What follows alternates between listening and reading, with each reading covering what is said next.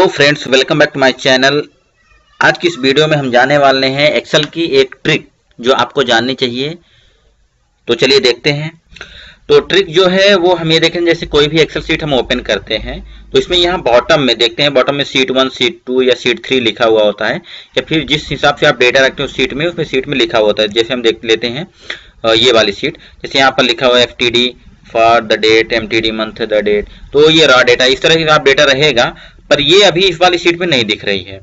तो यदि इस तरह आपकी सीट का नाम गायब हो जाए तो हम उसे कैसे लाएँगे? एक्चुअली ये हाइड नहीं है। हम यहाँ, हमें यहाँ पर ऑप्शन भी नहीं दिख रहा कि हम इसको लाएँ कैसे। तो करना क्या है? उसके लिए आपको यहाँ होम मेन्यू में जाना है। ओके यहाँ पर।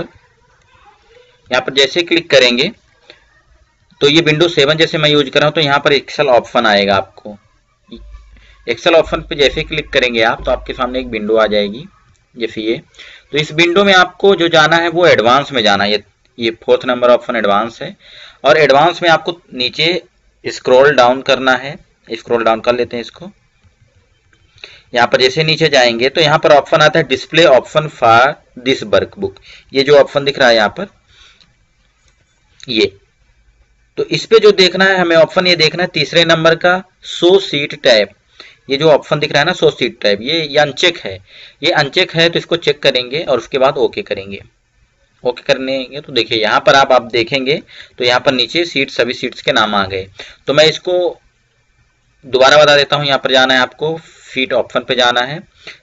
सीट ऑप्शन के बाद आपको एडवांस में जाना है। एडवांस के बाद यहाँ पर नीचे जाना है display option for work worksheet for this workbook और यहाँ पर सो सीट टैब पे क्लिक कर देना है। तो इस तरह कभी हाईलाइट ये अनहाइड रहे तो आप इसको यहाँ पर शो कर सकते हैं। तो आई होप ये वीडियो आपके लिए यूजफुल रहा होगा। तो इसी तरह ऑसम वीडियोज़ के लिए हमारे चैनल को सब्सक्राइब करें। So thank you for watching